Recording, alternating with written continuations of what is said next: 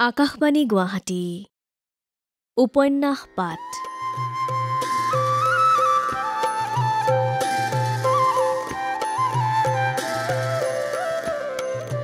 এই অনুষ্ঠানত প্ৰচাৰ হৈ আছে মহাপুৰুষ শ্ৰীমন্ত শংকৰদেৱৰ জীৱনৰ ভেটিত ছৈয়দ আব্দুল মালিকে ৰচনা কৰা উপন্যাস ধন্য নৰতনু ভালৰ ধাৰাবাহিক পাঠ।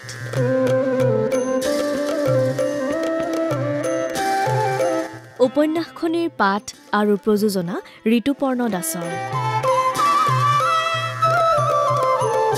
এয়া শুনক ধন্য নৰতনু ভালৰ ধাৰাবাহিক পাঠ। ধন্য ধন্য কলিকাল ধন্য নৰতনু ভাল ধন্য ধন্য ভাৰত বৰিষে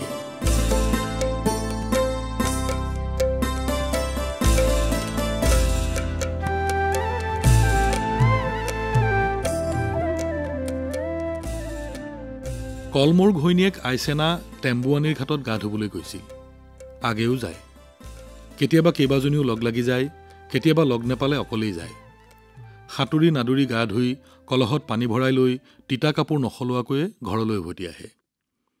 তিতা কাপোৰ গাত লিপিত খাই ধৰিলেও তাই ভালকৈ ৰিহাৰে গা ঢাকি মূৰত উৰণি লৈ আহে। নবোৱাৰীয়ে গাঁৱৰ বুঢ়া মেথা শহুৰ বৰজনাক মান কৰি চলিব লাগে। তাতে কলমৌ ভূঞাৰ ঘৰৰ গৰখীয়া। অইনে ভূঞা পৰিয়ালৰ অন্য লগোৱা বনোৱা কৰাৰ দৰেই তাকো এটা লেখৰ মানুহ বুলি গণ্য কৰে। তাৰ এই ঘৈণীয়েক আইচেনা শকতে আৱতে খোজে কাটলে গাই গাড়ীয়ে চকুত লগা ছোৱালী। বিয়া হোৱাৰ পাঁচ মাহ হৈছে। উত্তৰ পাৰৰ কলিতাৰ ঘৰৰ জীয়াৰী। পাঁচ মাহৰ আগতে কিবা সকামত কলমৌ দুদিনমানৰ কাৰণে বৰনৈৰ সিপাৰলৈ গৈছিল। তাৰে শিৱদৌলৰ ওচৰৰ চিনাকি মানুহ এঘৰতে আছিল। তাৰে পৰা ঘূৰি আহিবৰ সময়ত আইচেনাক নাৱত তুলি লৈ আহিছিল। গৰখীয়া হলেও বাৰভীয়া ঘৰৰ গৰখীয়া। দাই জগৰ ধৰিবলৈ বা বেয়া বুলিবলৈ কোনোৱে সাহ নকৰিলে। কলমৌ দেখাই মেলাই এটা ভাল ডেকা ল'ৰা। গাত বলশক্তিও আছে। অকলে নাও বাই বৰনৈ ইপাৰ সিপাৰ হয়। এলাপেচা ডেকা ল'ৰাই দাঙিবকে নোৱাৰা খৰীয়া কোভাৰ সি যিদৰে হেলাৰঙে কান্ধতকৈ আনিব পাৰে অইন ডেকাই নোৱাৰে। আৰু জুঁৱলি পেলাই নেজ দাঙি লৰমৰা বলধেকুটাক সি যিদৰে ডিঙিত গবা মাৰি ধৰি বস মনাব পাৰে আনে নোৱাৰে। আইচেনাই তাক পাই ভালেই পালে। গঞা ৰাইজেও আইচেনাক বোৱাৰী বুলি গ্ৰহণ কৰিলে। বেলি পৰো পৰো সময়ত আজিও আইচেনা নৈত গা ধুবলৈ গৈছিল। পানীত নামি গা ধুইছিল। পানী গৰাৰ ভালেমান তলত আছিল। তাতে তাই গা ধুই আছিল। এনেতে পানীত ওপৰৰ পৰা কাৰোবাৰ গাৰ ছাঁ এটা পৰা যেন পালে। তাই গৰাৰ ওপৰলৈ মূৰ দাঙি চালে। পাৰত মানুহ এটা থিয় হৈ তাই গা ধোৱা চাই আছে। মানুহটো তাইৰ বৰজনাক হেলচেই যেন লাগিল। এবেলি নিজৰ উদংগাটোলৈ চাই তাই গা লুকুৱাবৰ কাৰণেই নেকি নৈৰ পানীত বুৰ মাৰিলে। বুৰ মাৰি নোলোৱা হোৱা যেন দেখি পাৰত ৰৈ থকা মানুহটোৱে ভয় খালে আৰু লৰ মাৰি তললৈ নামি গল। প্ৰথমে আইচেনাৰ চুলিৰ ৰাগটো ওলাই আছিল। পাছত সিও নেদেখা হল। হেলচে ভয় খালে। ইফালে সিফালে চালে কোনো নাই। সি জাপ মাৰি পানীত নামিল। এবুকোৱা দ পানী। চকুৰ আগতে জীয়া মানুহজনী কলৈ গল? আইচেনা পানীলৈ ভয় কৰা ছোৱালী নহয়। বৰনৈৰ পাৰত ডাঙৰ দীঘল হোৱা ছোৱালী। হেলচে এনেই খেপিয়াই বিচাৰি নাপাই পানীত বুৰ মাৰি বিচাৰিলে। অৱশেষত তাৰ হাতত একোচা চুলি। সি খামোচ মাৰি ধৰিলে আৰু নিজেও পানীৰ পৰা মূৰ উলিয়াই আইচেনাক টানি আনিলে। আইচেনাৰ গাত তেতিয়া কাপোৰ কানি একো নাই। কিন্তু সেইবোৰলৈ মন কৰিবলৈ তেতিয়া হেলচৰ সময় নাছিল। মানুহজনী বাচি আছেনে নাই?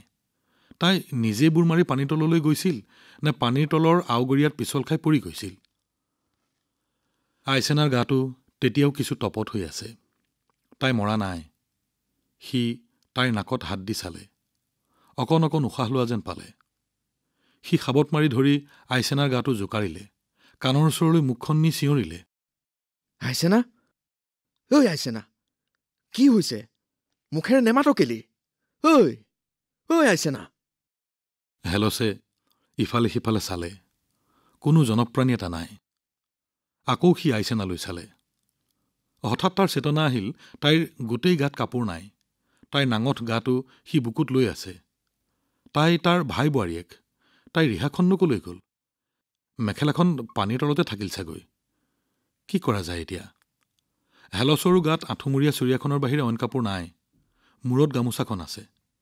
ততাতৈয়াকে মূৰৰ পৰা গামোচাখন টান মাৰি শুলুকাই আনি সি তাৰ এই আইচেনাৰ গাটো বুকুৰ পৰা তলপেটলৈকে ঢাকি দিলে। আকৌ তাইৰ বাহুত ধৰি গাটো জোকাৰি সি মাতিলে। ঐ আইচেনা! আইচেনা! কিছুপৰৰ মূৰত আইচেনাই দীঘলকৈ এটা উশাহ ললে। তাৰ পাছত চকু দুটা মেলিলে। তেতিয়া বেলি পৰি আহিছে। মই মই মইহে চিনি পাইছনে? আইচেনাই হেলচৰ মুখলৈ চালে। তাই চেতনা পাইছে।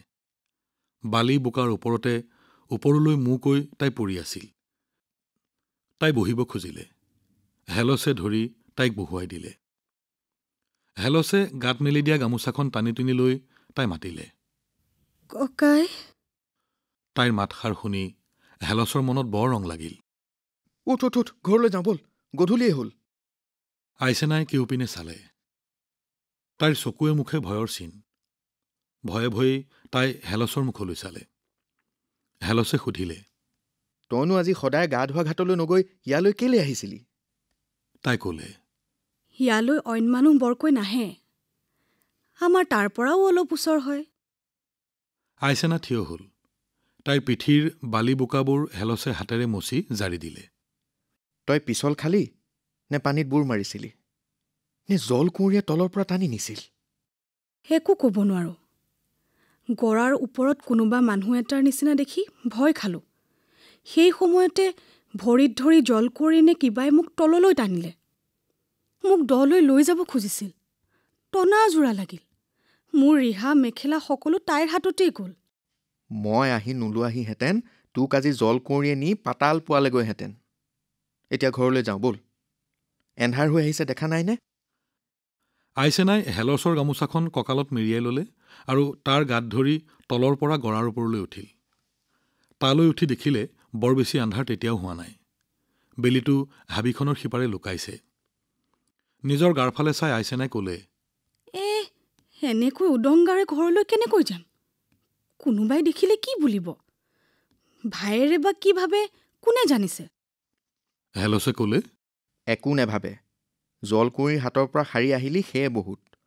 আৰু কেনেবাকৈ মই আহি ইয়াত এই সময়তে ওলালোহি বুলিহে? ককাই? কি হ'ল? ইয়াৰ পৰা খাগৰিয়নীখনলৈ যাওঁ ব'ল। তাতে অলপ ৰংগৈ। আৰু অলপ আন্ধাৰ হওক। এনেকৈ সুদাগাৰে ঘৰলৈ যাব নোৱাৰি। পলম হোৱা দেখিলে কিজানি তোক কোনোবাই বিচাৰি আহে? ভায়েৰ আজি ঘৰত নাই। আমাৰ তালৈ সিপাৰলৈ গৈছে। অইনে মোক বিচাৰি নাহে। তই ইয়াত অলপ পৰ অকলে থাকিবলৈ ভয় কৰিবি নেকি? ওৱাই ভয় নকৰিমনে মোৰ গাটো এতিয়াও শিৰশিৰাই আছে। হাত ভৰিবোৰ কঁপি আছে। ভৰি দুখনো পিছল পিছল লাগি আছে। মই খোজকে কাঢ়িব নোৱাৰিম যেন লাগিছে। মই বোলো তই অলপ বিৰিঙানীৰ মাজতে সোমাই থাক। মই তোলৈ কিবা কাপোৰ এখন বিচাৰি আনোগৈ। এনেকৈ উদংগাৰে ঘৰ ওলালেগৈ যখিনী বুলি মানুহে ভয়েই খাব। আয়ো অকলে মই ইয়াত এখন্তেকো থাকিব নোৱাৰো। মোক নঙঠা দেখি যিয়ে যি ভাবে ভাবক মোক এৰি নাযাবি। এ তেনেহ'লে ব'ল যাওঁ। মই পিছে তোৰ লগে লগে তহঁতৰ ঘৰলৈকে নাযাওঁ। তোৰ লগত মানুহে তেনেকৈ মোক দেখিলে কিবা কিবি ভাবিব। নহয় ককাই মোৰ ভয় লাগিছে। অকলে মই ঘৰ ওলাবগৈ নোৱাৰিম। এইখিনিত এনেকৈ সুদাগাৰে তিনি গধূলি ৰৈ থাকিবলৈকো বৰ ভয় লাগিছে। আহ আমি অলপ পৰ সৌ খাগৰিয়ানীখনৰ মাজতে ৰংগৈ। আন্ধাৰ বেছি হ'লে যাম। কিছু নিলগতে এখন খাগৰিয়নী আছিল। ইকৰা বিৰিঙা খাগৰিৰ এখন সৰু হাবি। তাৰ মাজেদি সৰুকৈ অহা যোৱা কৰা লুংলুঙীয়া গৰুবাট এটা।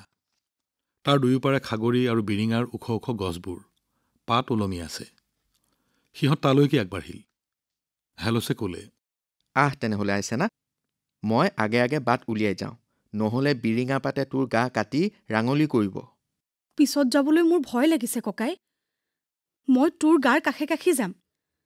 তই মোক ধৰিনে নহ'লে মোক খেতৰে টানি নিব পাৰে। গাঁওখনৰ মানুহবোৰৰ ঘৰত চাকি বন্তি নাই। কোনোবা মানুহ ক'ৰবাৰ পৰা ক'ৰবালৈ যাব লাগিলে আন্ধাৰ ৰাতি জোৰ লগাই যায়। বাৰভূঞাৰ ঘৰত আৰু বামুণ গাঁৱৰ ধনীকেইঘৰত গধূলি সৰিয়হৰ তেলেৰে মাটিৰ চাকি জ্বলায়। কোনো কোনোৱে নাহৰ গুটি জ্বলায়। সৰহভাগ মানুহে সাজ লাগি ভগাৰ পাছতে জুইৰ কাষত বহি ভাত পানী খাই শুই থাকে। পূৰ্ণিমাৰ ৰাতি দুই চাৰি ডেকা ল'ৰা জোনাকত ইফালে সিফালে যায়। আন্ধাৰত কোনো ঘৰৰ বাহিৰলৈ নোলায়। বাঘৰ ভয় সাপৰ ভয় ভূত প্ৰেতৰ ভয়। ৰাতি অলপ বেছি হলে কোনোবা কৰবালৈ গলেও কেৱে দেখা নাপায়। অকলে ৰাতি কোনো কলৈকো নাযায়। কলমৌ ঘৰত নাই। ভূঞাৰ ঘৰৰ গৰু গাইবোৰ আনকেইটা গৰখীয়াই চৰাই মেলি আনি বান্ধিবহি। তাৰ কাৰণে চিন্তা নাই। আইচেনাক যে আজি জলকুঁৱৰীয়ে ভৰিত ধৰি টানিছিল সেইটোহে ডাঙৰ কথা হ'ল। কাইলৈ পুৰণ বেজৰ হতুৱাই জৰাব লাগিব। নহলে আইচেনাই টেম্বুৱানীৰ এই ঘাট এৰিব লাগিব নহলে তাইক জলকুঁৱৰীয়ে নি পাতাল পোৱাবগৈ। নৈখনত কেইবাজনাও জলকুঁৱৰী আছে বুলি গাঁৱৰ সকলোৱে জানে। বেছি নহলেও পুৰণ বেজক ছাগলী এটাই চাউল এদিনে দিব লাগিব নহলে জৰা ফুকাই কাম নিদিয়ে। জলকুঁৱৰীৰ চকু পৰিছে এইবেলি ৰক্ষা নাই। কথাটো হেলছে আইচেনাক কলে। আইচেনাই কলে কথাটো অন্যক নেলাগে ক'ব। গাঁওখনে গম পালে ৰৌজাল বৌজাল কৰিব। ভায়েক ঘূৰি আহিলে বাৰু বেজৰ হতুৱাই অলপ তেল পানীকে জৰাই অনাম। কাইলৈ দোকমোকালিতে উঠি পাৰ পোৱালি নহ'লে কোমোৰা দুটাই নৈত পূজা দি থৈ যামহি। অ' ককাই মই আৰু থিয় দি ৰ'ব নোৱাৰোঁ। বৰ থৰক বৰক লাগিছে। আৰু অলপ এন্ধাৰ বেছি হ'লেই আমি যাম। অকণমান ইয়াতেই বহো। জানো চা সাপ চাপ ওলায়। এনেকুৱা বিৰিঙানী খাগৰিয়নিৰ মাজত শংখচোৰ পানী মৰলীয়া সাপ থাকে। আইচেনাই হেলচলৈ বাট নেচালে। তাৰ হাতখনত ধৰিয়েই তাই বিৰিণাপাত এসোপাৰ ওপৰতে বহি দিলে। অলপ পৰ থিয় হৈ থাকি হেলচ তাইৰ গাৰ কাষতে বহিল। জোনাক নাই যদিও তৰাবোৰ আছে হবোলা। এন্ধাৰতে তোৰ গাটো জিলিকি আছে। হেলছে তাৰ গাৰ কাষতে বহি থকা আইচেনাৰ বগা গাটোৰ ফালে চাই কলে। নিজৰ বাহু বুকু হাতেৰে মোহাৰি মোহাৰি আইচেনাই কলে। চেহ বিৰিণা পাতে গাটো কাটিলে। বৰ চেকচেকাইছে অ' মোৰ গাও কাটিলে। হেলছে কলে। তাৰ পাছত সেই কাহিলী পোহৰতে আইচেনাৰ গাটো হাতেৰে মোহাৰি দিবলৈ ধৰিলে যেন তাই এজনী সৰু ছোৱালীহে। ককাই তোৰ চেঁচা লাগিছে নেকি? তই কঁপিছ নেকি? আইচেনাই কলে তই বাৰু সঁচাকৈ কচোন নৈত তোক জলকুঁৱৰীয়ে টানিছিল নে তই জলকুঁৱৰীক টানিছিলি? তোক যেতিয়া মই বিচাৰি পাই পানীৰ তলৰ পৰা তুলি আনিছিলোঁ তেতিয়া তোকহে মোৰ এজনী জলকুঁৱৰী যেন লাগিছিল। হয়ত কৈছোঁ। আগে পিছে অইন জল কুঁৱৰী তই ক'ৰবাত দেখিছ জানো? ধেমালি নকৰিবি জানিছ আইছেনা। তই হবোলা জলকুঁৱৰী বনকুঁৱৰী জলদেৱতা বনদেৱতা একো নাই বুলি ভাবিছ। এতিয়া তিনি গধূলিখন নাম ল'বলৈকে ভয় লাগে। নৈৰ পাৰৰ এই হাবিত মৰি বিলত এৰাবাৰীত কত কি থাকে? ডাইনী যখিনী দৌত বাঘ দানহ ভূত পেৰেট খেতৰ কন্ধ মহজক বুঢ়া ডাঙৰীয়া আৰু যে কত দেও দেৱতা আছে। চল পালে সেইবোৰ যাৰ এটাৰে গাত লম্ভে। পূৰণ বেজে কত দেও লগা মানুহ ভাল কৰিছে? আৰু সেইবোৰৰ নাম কৈ নেথাকিবি অ' ককাই। আমি যাওঁ ব'ল। কোনোবাই দেখিলেও দেখিব। কাপোৰ কানি নাথাকিলে গাটো আন্ধাৰেৰে নাঢাকি আৰু কিহে থাকিম এৰাও ক'লে দাই জগৰ লাগে। পিছে দুৰ্গা গোসানী কালী গোসানীৰ গালৈ দেখোন সকলোৱে চায়। দেৱীৰ গাতনো ক'ত ৰিহা ঢাকনি কিবা দেখিছ?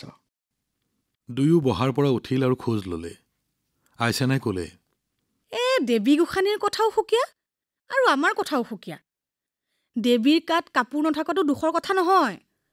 আমি সমাজৰ মানুহ সুদা গাৰে ওলালে সকলোৱে বেয়া পাব। মোৰ গাৰ কাপোৰ জলকুঁৱৰীয়ে নিলে বুলি ক'লে কোনোবাই জানো মানিব? পাপ কাম কৰিলেহে পাপে চুব পাপ নকৰিলে নাঙত হৈ ওলালেও তই দেৱী যেন হৈ থাকিবি। মানুহক দেৱী বুলি ক'ব নেপায় অ' আইচেনাই কলে আৰু বৰজনাকৰ হাতত ধৰি খাগৰিয়নিৰ পৰা ওলাই আহিল। সিহঁত দুয়োটাকে তেতিয়া ঘন ডাঠ আন্ধাৰে ঢাকি পেলাইছিল। তেতিয়া সাঁজ লাগি ভাগিছিল। তোৰ বাৰু ভয় লাগিছে নেকি আইছেনা হেলছে সুধিলে। তই লগতে আহিছ কালৈ ভয় লাগিব? ৰাতি বুলিহে? তহঁতৰ নিচিনা ছোৱালীবোৰে আমাৰ নিচিনা মতা মানুহবোৰলৈ ভয় নকৰে জানো? তই ককাই। ককাই মানে বোপাই। মই তোৰ বোৱাৰী। বোৱাৰী মানে ভনী নহয় জানো? আমি কিবা গৰু পোহোনে? আমি মানুহ। গাত কাপোৰ থাককে বা নাথাককে। আমাৰ সমতটো বেয়া কৰিম কেলে? নহয় জানো ককাই? তই বৰ ভাল কথা কৈছ আই। আইচেনা পাপ কৰাৰ পৰা আঁতৰি থাকিব নোৱাৰিলেনো আমি মানুহ হ'লো কেলে? ঘৰ পাইছোহি। তই আগবাঢ়। মই গৰু ছাগলীবোৰ বান্ধিলেনে নাই পাক মাৰি চাই আহোঁ। বাৰু যা ককাই। তই মোক আজি বৰ বচালি দেই। যা যা চুপতি মাৰিব নালাগে। ঐ মেখেলা ৰিহা পিন্ধিগৈ যা। তোৰ গামোচাখন আৰু নিদিওঁ। দিলেও ল'ম নে কিবা? দুয়ো দুফালে আগবাঢ়িল।